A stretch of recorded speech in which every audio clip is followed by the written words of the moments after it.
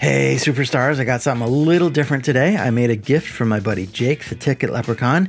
Jake and Amy had their baby, and I wanted to make this little frame for them, but it is a surprise, so don't tell them unless Jake finds this video, in which case, hey, Jake, surprise! Here we are with some Adobe Illustrator nonsense. I'm starting out with the 1962 Topps design because we're cutting this out of wood and the wood border looks cool. And 1962 was the year the movie The Sandlot took place, and we know Jake loves The Sandlot.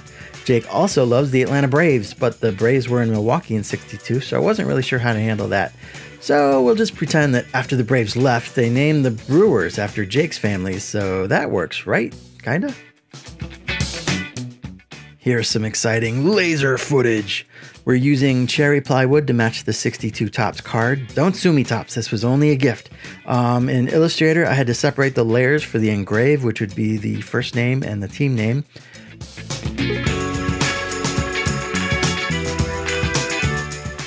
Then I made an outline for the last name and the paper border. I didn't want to cut that all the way through though, and then a layer for the stuff I was cutting, the inside hole and the outside of the frame. Is this interesting at all?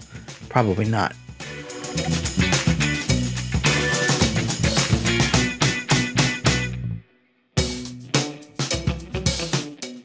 The wood I used had some protective masking tape on it to keep the wood from burning, but it also works as a mask for some spray paint. So we'll paint the white bits real quick.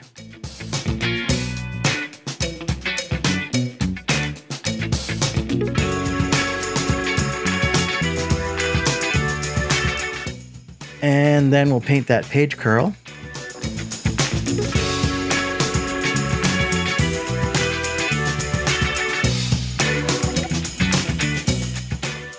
And now for the fun part, we can take all the tape off. Awesome, that came out just like I wanted it to.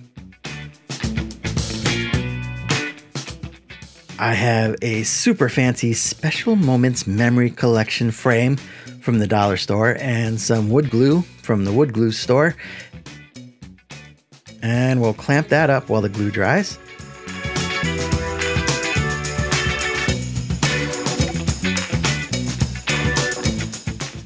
That's long enough. I found a random photo of a random baby on Pinterest, so we'll throw that in there. And Frank Viola, look at that. Four sharp corners and well centered. Here's our beauty shot.